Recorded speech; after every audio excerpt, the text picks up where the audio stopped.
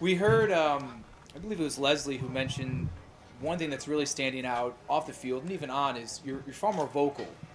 Is that something that was a, a conscious effort this season, or, or, what, what has brought that about? Yeah, it's definitely on my mind a little bit more. Um, just trying to take that next step in my game. Um, just looking to improve. It helps me out and it helps the team out as well. So anything I can do for that is, is what I'm going to do. Y'all making Matt nervous, man.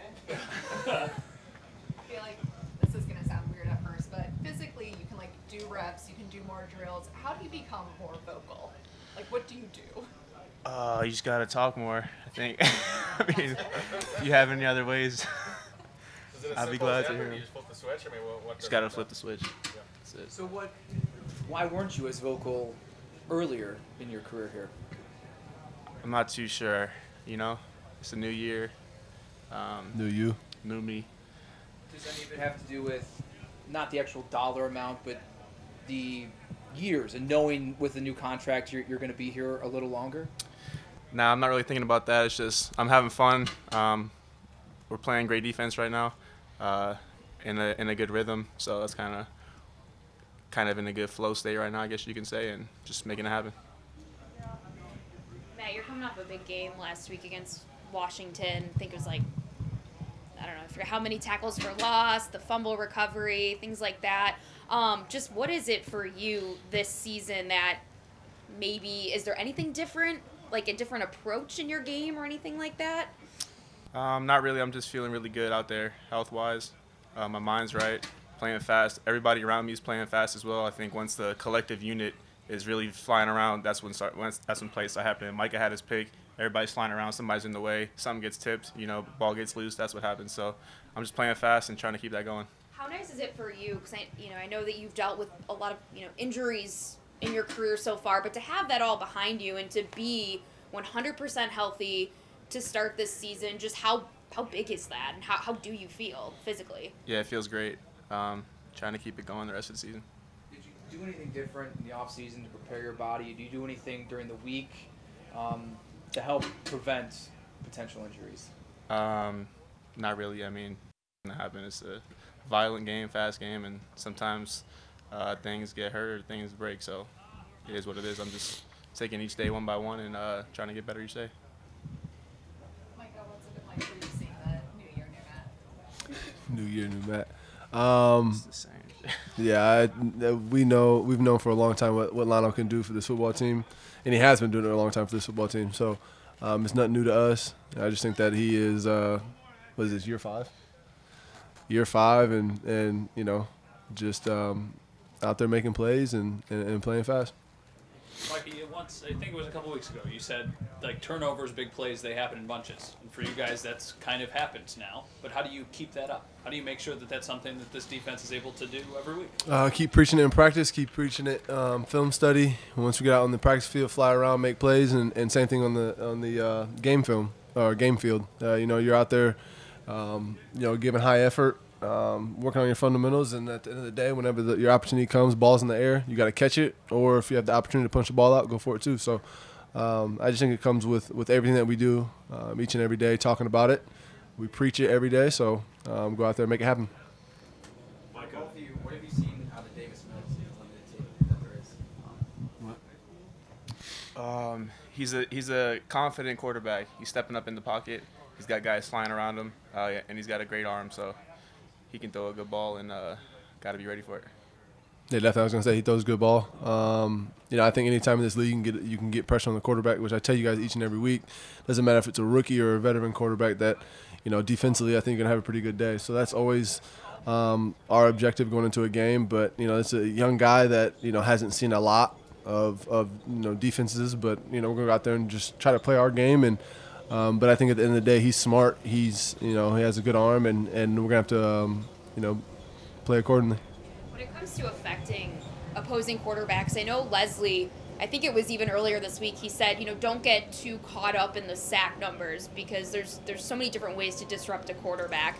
Even though the sack numbers weren't last week what it was against Miami. I guess like what like Micah, what's your take on that? Like the fact that you can you can get it done in so many different ways when it comes to disrupting opposing quarterbacks. Yeah, for sure. Um, you know, we that's another thing we preach all the time is affecting the quarterback. Um, whether if it's if you're not if you're not hitting them or getting sacks, then then you know possibly affecting his eyes, um, disguise wise, you know, pre snap, um, and even post snap, trying to trying to affect affect his eyes and also his feet. Um, make him get happy feet, make him step up in the pocket, make him step side to side. Um, there's other ways to affect the quarterback. Obviously, the sack numbers aren't always going to be there. Just like, you know, there's a lot of numbers in, that that people focus on that are very skewed depending on how a game goes. But um, you know, I just think as as long as we go into a game affecting him one way or another, I think we're gonna come out be, and, and be and be fine. Micah, the, uh, the last time you guys walked off the field against Houston was probably maybe one of the lowest moments that you can remember that playoff game Mm. down there in, against the Texans. Thanks for Uh, bringing it up. didn't, even, didn't even think about that. I mean, Brian uh, Daboll the other day said it felt like a decade ago that that game was Yeah. played, but it really, in a lot of ways, wasn't all that long ago. There's a big group of you here that went through that game. Um, how do you think you came away from that? Maybe as a group, what did you guys collectively take away from that going into the 2020 season? Um, just you know, that game was there for the taking. You guys didn't take it. Yeah, yeah. Maybe what did you learn from that game? Well, I think we, um, oh man, from that game, I just think each and every year, um, you kind of, when you, when you kind of lose that last game, obviously you're not, you know, when it's when you're not winning a Super Bowl, it feels like a failure. Um, and so when you lose that last game, and I can even go back to 2017, uh, losing in, in the first round, um, that was a learning process. 18, the whole season was a learning process. 19. Um, that was the that was the year, right? 19 against Houston. Um, you know, we felt like we, we had it rolling. We had a pretty good season. You know, we felt like we should have won should have you know won that game, and then unfortunately we didn't. So coming into last year, um, I just think each and every year is a learning process. You you you you you know you kind of hit rock bottom and you grow from it. Um, and each year we've done that, and that's why, you know, we feel like this year we've we can hopefully hopefully blossom from from all the stuff that we went through and. Um, but it's it's still a process. We got to continue to to remember those losses um, to to get us to where we need to go. Matt, if I could, just maybe the same question for you. Do you have any recollections of kind of what you took away from that loss, which I know, you know, like I said to Micah, was probably a game like you guys, in a lot of ways, felt like you should have won? Yeah, I just gotta. I think I gotta make that last play of the game. But after I got those corrections, I put that behind me and moved on from it. Matt, we were talking to Taron the other day, and he said, I brought you up, and he started smiling. He's like, that's my boy. Uh, he said he just plays the game with so much swagger, and I try to match that when I'm out there. What's your relationship like with Taron? I mean, you've been with him for now the, the fourth season. Yeah. He's having such a big year. Nah, Taron's a, Taron's a great dude. He's basically a linebacker. Like if you watch the film, he's playing the same position I am, just on the other side. So me and him got a good connection. If the Will's playing good and the Nickel's playing good, you might you're probably gonna have a good day. So that's kind of our relationship there. Those two positions are, are key to the defense. Do you, ever, do you ever try to just get him to eat a little something before the game? Um, nah, he does his own thing. He's vibing out before the game, so I let him I let him do his own thing. Talk so much about continuity with this group and with this defense. How beneficial has that been for you, having the continuity not only with the coaching staff but the guys around you on this defense? Yeah, it's been great. I mean, this is our fifth year together now, most of us. So you you watch some stuff on tape, but in the game, there's stuff flying around everywhere. So just being able to make decisions on the move with guys you've been around, I think that helps us out a lot because you can't cover everything in practice, obviously.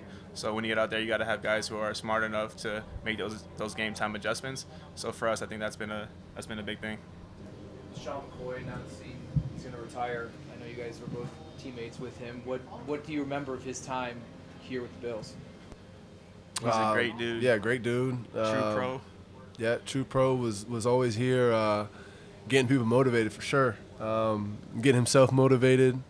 Uh, One of the talk- best to do yeah, it. one of the best to ever do. it. I mean, I, I played Shady when him. when he was in Philly and I was in Green Bay, and that dude was a problem. Like problem. There's no not one person. If there was a one-on-one tackle, you wasn't making it, and the coaches knew that. So you know, watching film the next day after playing Philly and you missed a tackle on on Shady, they didn't even care because you ain't supposed to make that tackle. So, um, man, one of the best to ever do it. Shout out to Shady. Yeah, much respect to him. Yeah, and then to watch him and then play against him elsewhere, and then to then be on the same team. What what was that dynamic like going from the outside in? Um, what was, one more time? What was the question? I mean, you watched him on TV, you played against him, and now you're on the same team. What was it like watching from the outside and then getting the first-hand look as an insider or teammate? I'll let you I get mean, it was kind of just what I said. You know, you were um, kind of at awe of what he was able to do um, playing against him and watching him on TV. And then, um, what is, what is, what's his IG? Cut on a dime? Cut on the The boy cuts on a dime. Like, he really, his name his name holds true. Like, this dude is just cutting all over the field. And it's like, you know, snow game, he's cutting. Everyone else is slipping. Um, the old, uh, when he was in Philly, that snow game, he was cutting all over the place. Everyone else is slipping. So, the, the name holds true. His IG name holds true for sure. Cut on a dime, two five.